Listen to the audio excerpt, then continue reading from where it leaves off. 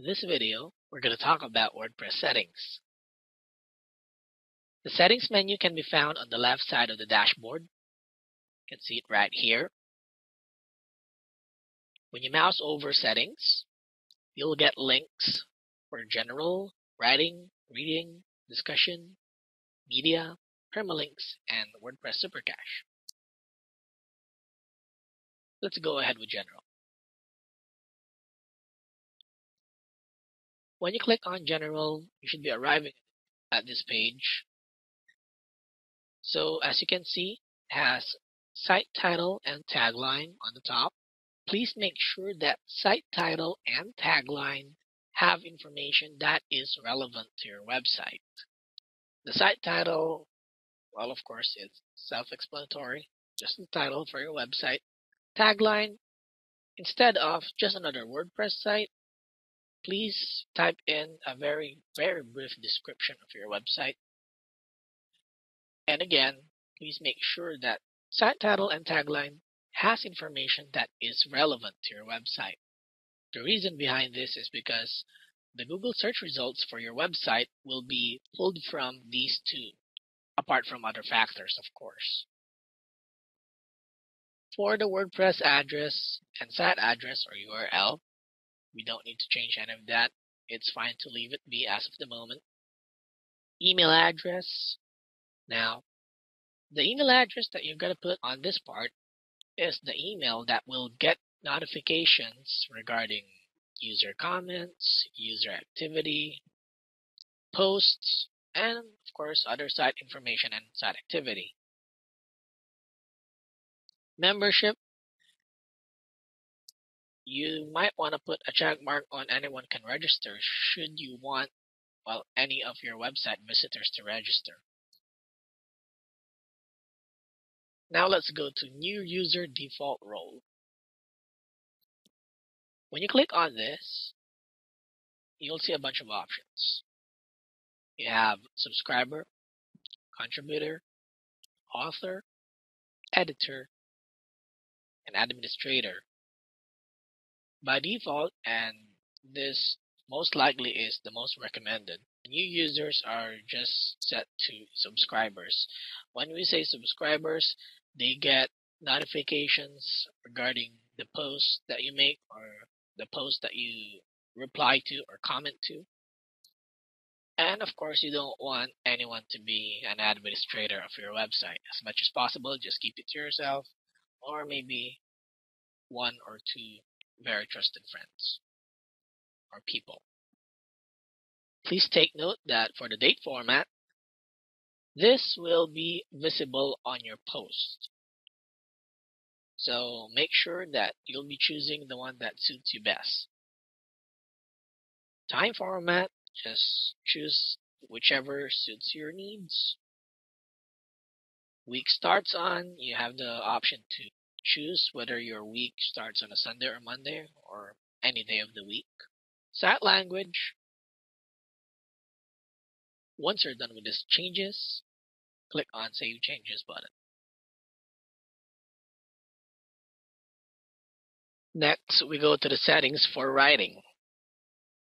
To do this, go to Writing under Settings in the left side of the screen or your dashboard click on the Writings link. You should arrive at a page like this. As you can see, the top part of the page is all about formatting. So you have the option for emoticons, categories for your post, and default post format. In this section right here, you also have the option to post by email, meaning you email something to an address and then that email automatically becomes a post. Please bear in mind that the email address that you should be using on this one should be secret. And then there's one more thing. Please also make sure that the email address or the email account that you're using is a popular account, meaning you should be able to use this email account with Outlook, Outlook Express, Apple Mail, or any other email client. On the last part, we have update services. To know more about update services, click on the update services link right here. And as always, after making changes, please do not forget to click on the Save Changes button. Now we go to the settings for reading. So this is the page for reading settings. On this part right here, it lets you control what is displayed on the front page. So you do have the option to show the latest post on your front page or you can select a static page. Now, when you have made pages already, the pages will be listed here. So as you can see, we haven't done any pages yet, so it's only the sample page. That's the only one showing up right now, and the post page as well. But as time goes along and you made several pages already, it will be listed here as well. You can choose that as the static page. So regardless of the post that you made, whatever page that you choose for the static page will be the front page for your blog. The next part right here is for the RSS feed. It lets you control how many blog pages show up. So you can control at the default is 10 posts. And you can also control if the blogs will be shown as full text, meaning it will show the entire content, or just a summary. The last part right here is search engine visibility. So you have a checkbox right here. When you put a check mark on this or when you enable this, Google will not index your articles or your pages. So it's actually up to you if you want Google to or to not index your pages as well. Now we go to the discussion settings page. This is the page for the settings for discussion. On the first part right here, it says default article settings. So there are three options here. The first one is for links that you make to other websites or blogs. So when you enable this, you will be notified of those links. The second one is for links back to your blog or to your site from other people's websites. Again, of course, when you put a check mark on this one, you will be notified via email. And the last one is to allow or disallow people from posting comments on your articles on your website. So if you want people, or if you don't want people to post comments uh, regarding the articles that you've written for your website, you can choose to enable or disable that option right here on this part.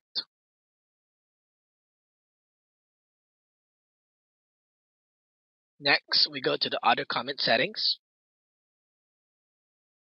By default, the one that says users must be registered and logged in to comment. So this is actually highly recommended. Unless, of course, you want anonymous persons to be posting comments on your articles or blogs. You also have the option to ask the person who is making the comment to provide his or her name and email address first before posting the comment. As you can see, this is more on filtering comments, making sure that the people or the ones who are making comments are real people and not programs or automatic bots or whatever. The other options will be automatically close comments on articles older than specified number of days. You can also enable threaded or nested comments. Then you specify the number, level steep. And then you can also have the option to break comments into pages. And the last part on the other comment settings is you can actually choose to display the older comments first, or if you want the newer comments to appear on the top of the page. So it's actually up to you if you want the old ones or the first ones to appear on the top of the page, or if you want the new ones instead. Now we go to the next section. You can choose to be notified via email whenever anyone posts a comment or whenever a comment is held for moderation. You can also choose whether or not a comment must be manually approved. Or, let's say if the person already made comments previously, you can also enable this option, the second option right here. Once you enable this, there's no need for the comment to be moderated. It will automatically be posted as long as the person making the comment has already made a comment before and you have approved of it.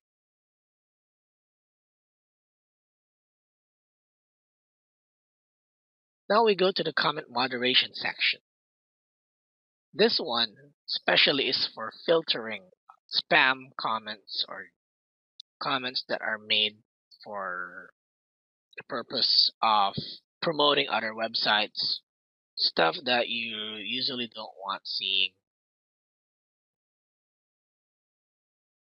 You can also choose to have the comment filtered so that it goes automatically to the moderation queue the information that's used to filter the comment can be a name, can be a URL or a website address, can be a keywords from its content, email address, or even IP address.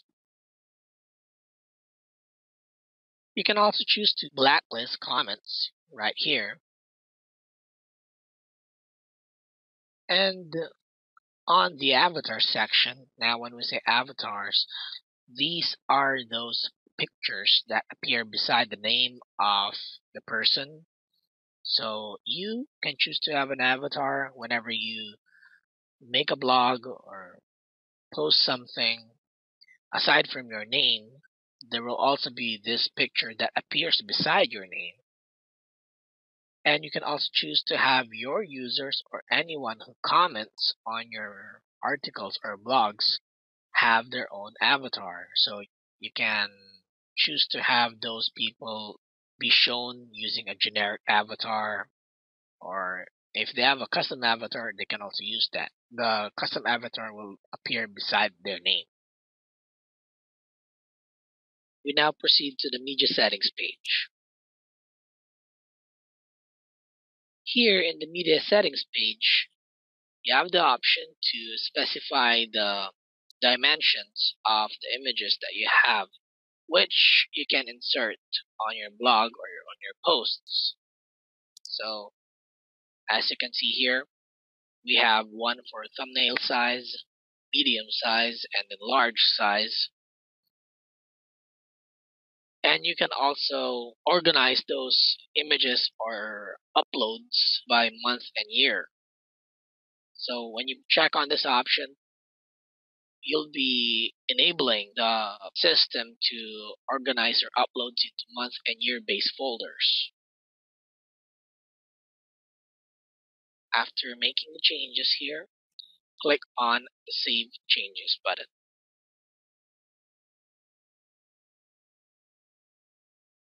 Now we go to the settings page for permalinks.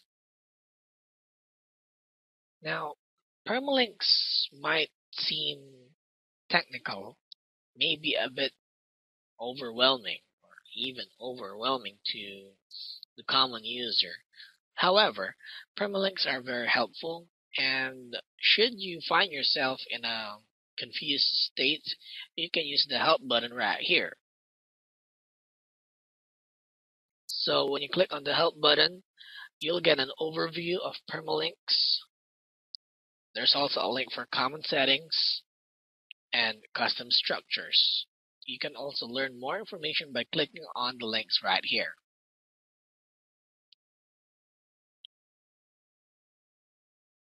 So what are permalinks? Permalinks are permanent URLs to your individual pages and posts. A permalink, in essence, is an address that is used to link to your content, which never changes. It's permanent. That's why it's called a permalink. Now, going back, we have several right here. So the default, this is the usual permalink for WordPress. As you can see, it has the website name or your domain name plus a bunch of question marks, other symbols, and numbers. You can actually choose a different style for your permalink. So you have and name, so you can see here that instead of numbers, just random numbers, you already have the date and then a name here, sample post. So whatever the name of your post on your blog site, it will appear here. You can also have month and name. You can also have a numeric style. Post name, very simple, yet very effective. And then a custom structure, just in case you want to make a style of your own.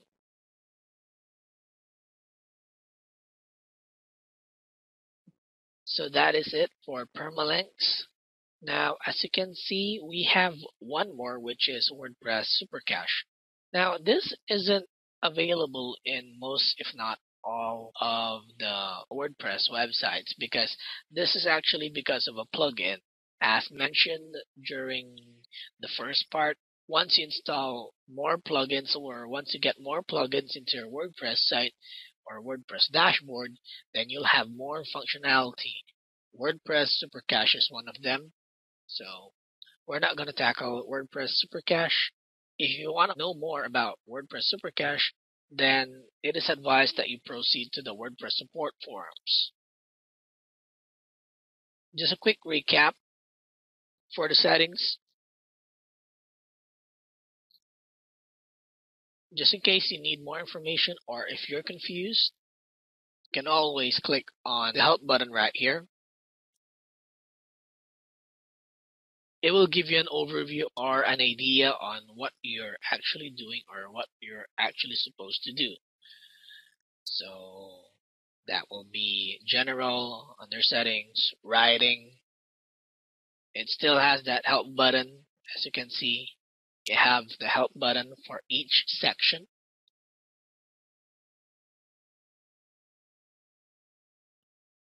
This is the one for reading. Again, you'll have more information or at least you'll get an idea on what you're supposed to do or what is the purpose of each option by clicking on the help button.